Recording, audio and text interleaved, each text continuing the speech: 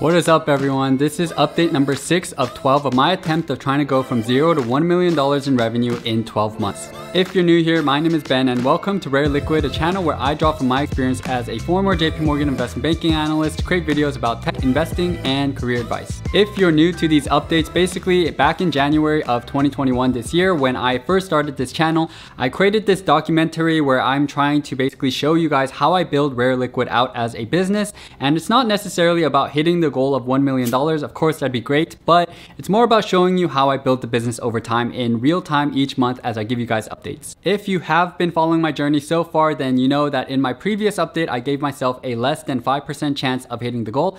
And now I'm kind of sad to say I give myself now a less than 1% chance, but I'll let you know why I'm still in good spirits overall, regardless of kind of what's happened so far. With that said, today's agenda looks like this. I'll first be discussing July's results, I'll then go over some of my latest reflections, and then I'll end with some giveaway info. Okay, so first up, let's go over July's results. First off, in terms of subscribers, I fell far short of my goal of 75,000 and grew by 5,237 to end the month at 32,099 subscribers. Unfortunately, the YouTube gods did not bless me with a viral video this past month, but with that said, we still gained more subscribers than in June, which was around 4,000 subscribers in growth. And so it grew slightly and it's towards, or it is in an upward trend. So I'm kind of, I'm happy about that basically. YouTube ad revenue also stayed relatively steady at $1,143 and Patreon actually fell a bit to $1,327 and I'll explain in the reflections part of the video why these numbers didn't improve by much.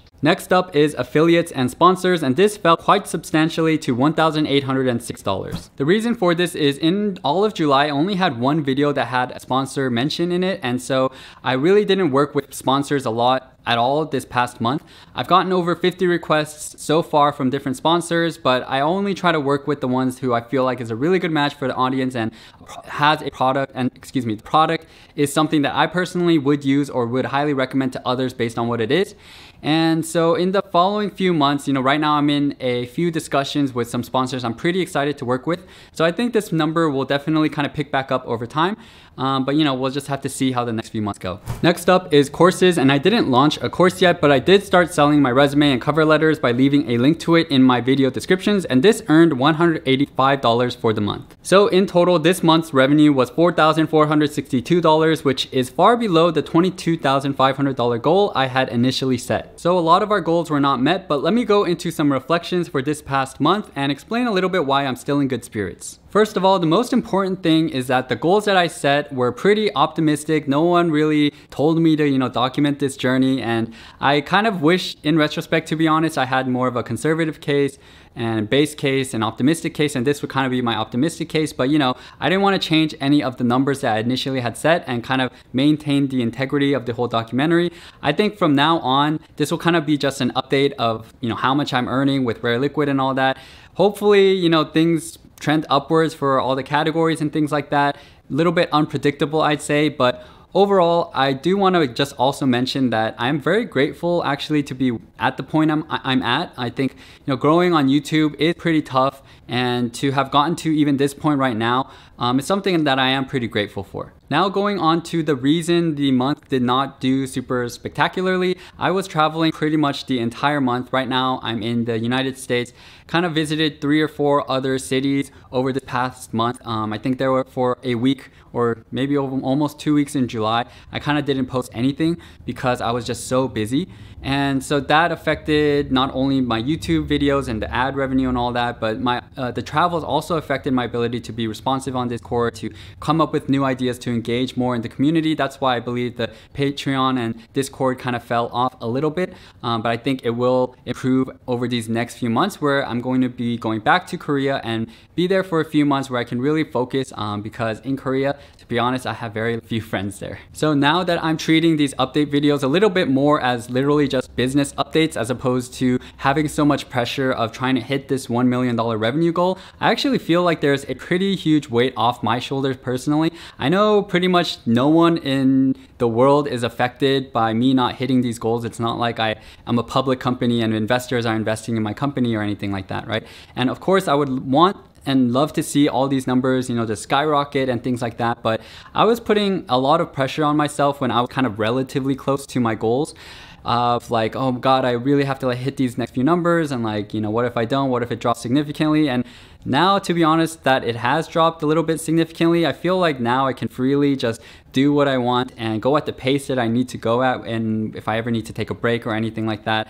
And so yeah, that's how I'm uh, going to be approaching these update videos now. And you know, I'll still be working hard every single day and week to do the best I can, but you know, um, yeah, I guess that's why I mentioned the, earlier on in the video that I'm in good spirits. Also, one pretty exciting thing that happened this past month was that I did get featured on the New York Times. If you saw my previous video, I'll link to it right here.